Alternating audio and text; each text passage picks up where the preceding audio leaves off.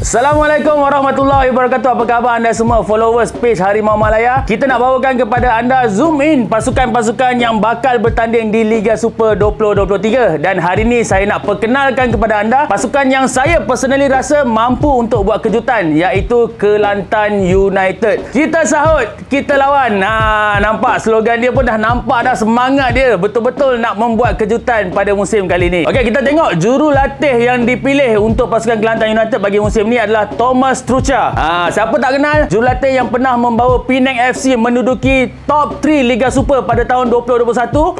Pencapaian yang sangat luar biasa dan pada tahun sama juga mara ke semi final Piala FA. Malangnya kurang menjadi pada tahun 2022 dan tahun ni dia macam nak membalas dendam, nak buktikan sesuatu bersama Kelantan United. Kita tahu permainan dan mungkin perancangan beliau sememangnya terbukti berkesan di Liga Malaysia. Salah seorang pemain import yang akan bersama dengan pasukan ini adalah Morgan Garo Gomez pemain berusia 37 tahun dengan macam berusia tapi asli di Padang masih lagi hebat. Sebelum ni pernah bersama Kelantan dari musim 2016 sampai 2018 uh, dengan 32 penampilan yang paling best sebenarnya masa muda dia dulu pernah bermain untuk Birmingham City sebanyak 31 penampilan. Birmingham City okey bukan biasa-biasa. Seterusnya kalau kita tengok pemain lokal pula ada dua pemain yang mencuri tumpuan saya iaitu yang pertama of course kita punya boss. Ah uh, ramai player panggil dia boss Indra Putra Mahyudin pemain yang berusia 41 tahun tapi penuh dengan pengalaman, penuh dengan kemahiran yang sangat dihormati. Dia masih membuktikan keupayaan dia apabila dalam friendly persiapan pre-season ni masih mampu untuk menjadikan beberapa gol. Dia memang dikenali sejak bermula daripada pasukan Perak dan kemudian bersama dengan pasukan-pasukan besar seperti Pahang dan Selangor pernah menjuarai Liga Super sebanyak 3 kali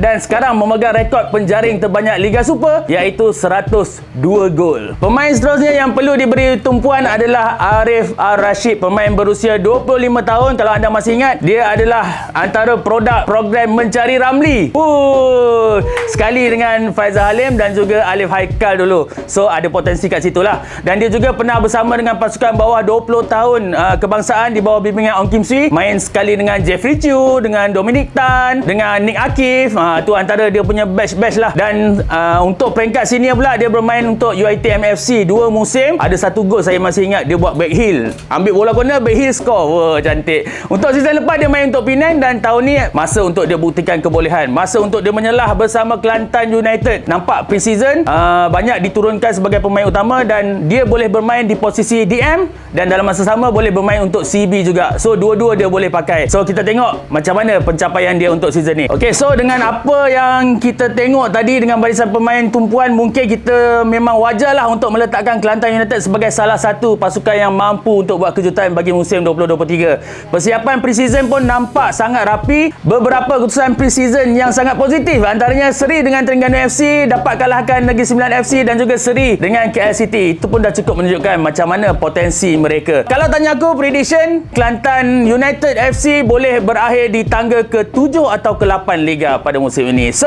sama-sama kita nantikan, sama-sama kita tengok macam mana mereka buktikan keupayaan mereka. The Green Years, come on, go!